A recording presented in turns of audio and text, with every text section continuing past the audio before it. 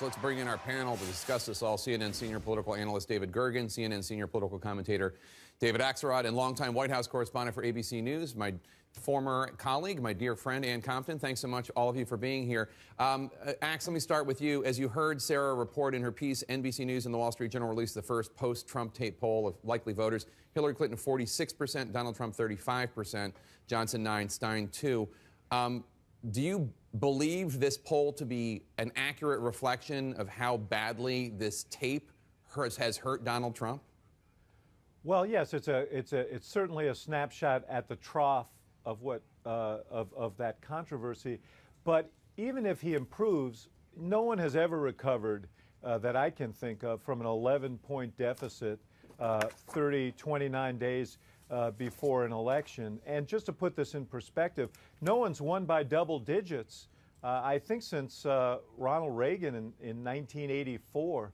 I mean, and this is in a four way that she's up by 11. In the two way, she's up by 14 in this poll. What's alarming to congressional Republicans is that the, uh, the preference for Democrats on the congressional vote jumped from 3% to 7%, which is a really, really concerning number for them. So uh, that's why you saw Paul Ryan stepping out as he did today, basically saying to his uh, caucus, every man and woman for themselves here. And the poll shows Trump dragging down Republicans across the country.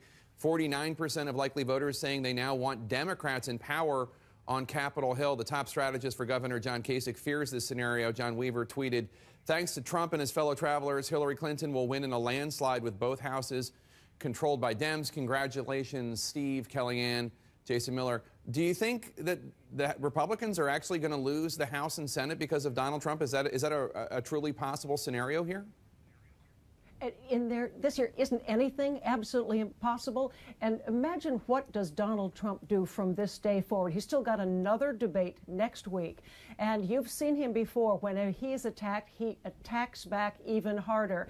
And even that, that line last night to Mrs. Clinton about you'd be in jail, that's a strong echo from his convention where the, the shouts of lock her up ringed, uh, just resonated through the convention hall. Uh, he's still got some fight left in him, but I don't think he's looking at down the, down the ticket either. And and uh, and uh, David, a, a, moment from last night getting a lot of attention, as, as Ann just referenced, Trump promising to appoint a special prosecutor to go after Hillary Clinton. Uh, take a listen. I didn't think I'd say this, but I'm going to say it, and I hate to say it, but if I win, I am going to instruct my Attorney General to get a special prosecutor to look into your situation because there has never been so many lies, so much deception. There has never been anything like it. And we're going to have a special prosecutor. David, I don't need to remind you when Richard Nixon tried to commandeer the Justice Department by, by forcing his Attorney General to, to fire a special prosecutor, two, two individuals resigned. The conventional wisdom says that, that Trump saying this out loud is unconscionable, but Frank Luntz's focus group last night thought that it was the best moment of Trump's debate, for Trump in the debate. And it, it, it, worked well among in the uh, independent voters uh, with CNN as well. So it is distressing, but but Jake, under the law, the president can request but he cannot command the Justice Department to appoint a special prosecutor. That's an aftermath of, of the Nixon scandals, and, and you know the anchors had to be put around, and uh, checks had to be put around the President of the United States. So for him to go there in and of itself was thoughtless. He hadn't really prepared himself. He never spent a half an hour studying to figure out what the, uh, the powers of the presidency are. But beyond that, the very idea of going on a presidential debate and saying, you, you, know, if I were president, you'd be in jail, and I'm going to appoint a special prosecutor if I win, I think is so far beyond the bounds of American politics, traditional American politics. It's way outside the mainstream. And it, it, it really, that's the language of a tin pot dictator.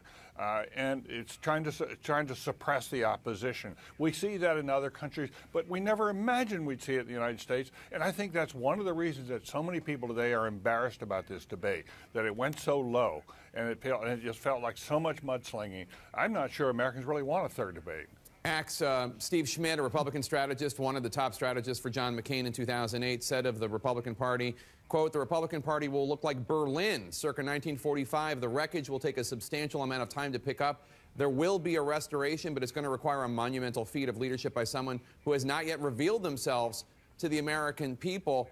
Do you think that, that even if Trump loses, that it's really going to be that cata- cataclysmic for the Republican Party?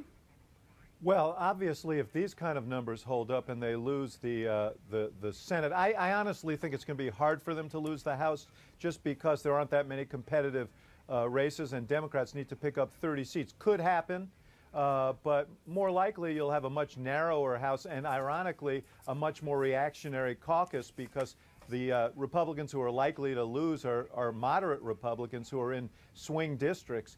But I think uh, the Republican Party has a tremendously difficult situation here because you have uh, a conservative faction and a center right faction, neither of whom claim Trump.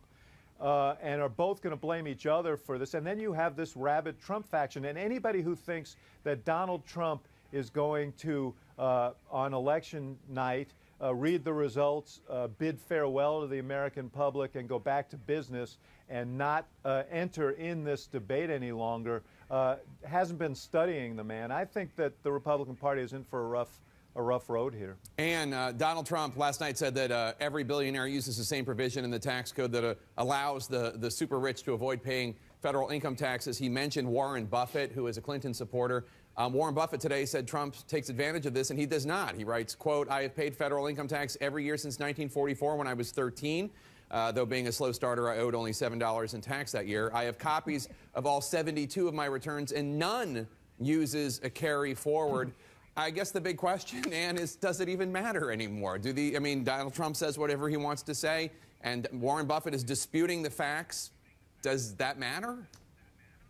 Well, probably not to those who are going to the polls, or maybe a lot of people on Wall Street, or maybe even future presidential contenders who are now going to look back at their own returns. But the but there's no question that the Republican Party is already feeling crippled, and they're going to have to contend with millions of Americans who vote for Donald Trump. And where do they go after November? That's the big question.